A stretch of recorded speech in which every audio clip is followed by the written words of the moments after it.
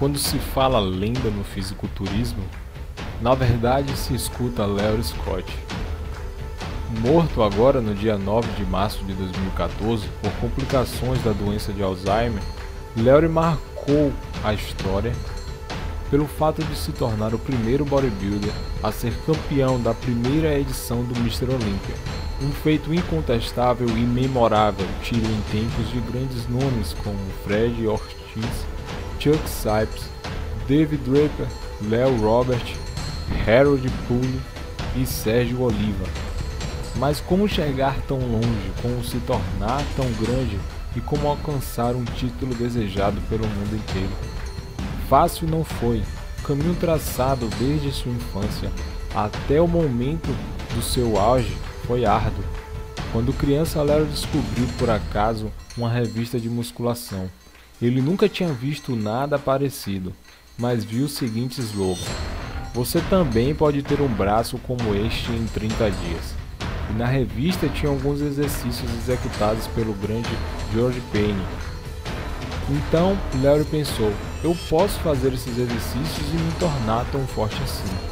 Foi então que Larry teve a ideia de utilizar um grande eixo de trator que tinha em sua casa para realizar alguns exercícios da revista. Durante um tempo, essa foi sua academia.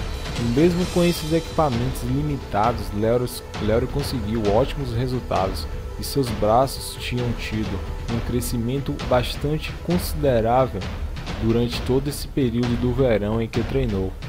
A genética de Léo era uma genética extraordinária. Em pouco tempo, Léo foi treinar no ginásio da sua cidade e logo depois se mudou para a Califórnia, onde passou a treinar no ginásio Vince. Isso mesmo, o ginásio de Vince Gironda. Ele foi simplesmente o maior preparador físico de todos os tempos do fisiculturismo. Lá, Léo conseguiu treinar com esse mestre, onde passou a instruí-lo em exercícios e alimentação, pois Léo não tinha menor noção de nutrição, nem levava tão a sério uma suplementação de proteínas. Então, se sentindo preparado e tendo conquistado vários títulos, como o Mr. California em 1960, Mr. Los Angeles, terceiro lugar no mesmo ano, em 1961 foi Mr. Pacific Coast, em 1962 foi Mr. América peso médio, em 1963 foi Mr. Universo peso médio e em 1964 ele também foi Mr. Universo em peso médio e overall. Tinha chegado então a hora de competir pelo Mr. Olympia. No caso, naquela época existiam muitos Misters, então ficava difícil de se dizer quem era o melhor do mundo. Então Joey Wender teve a ideia de criar uma competição onde se pudesse determinar quem seria realmente o melhor bodybuilder do mundo. Foi então que ele criou a competição do Mr. Olympia competição do Mr. Olympia então juntava competidores de todo o mundo e para isso, para poder competir, a classificatória era apenas que os bodybuilders tivessem pelo menos um título profissional.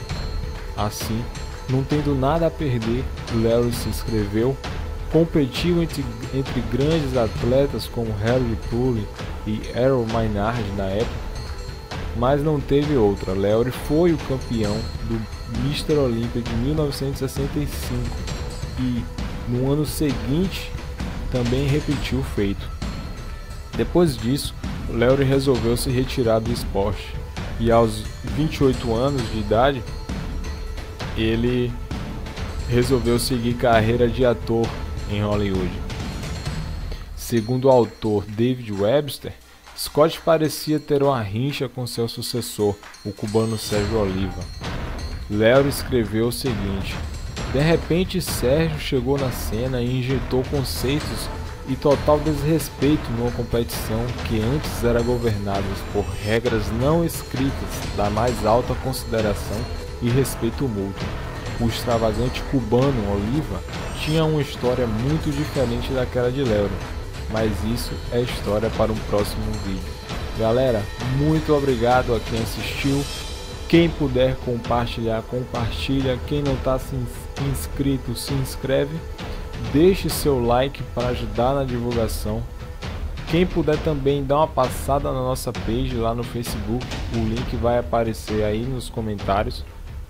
E fiquem com Deus, um grande abraço e até o próximo vídeo.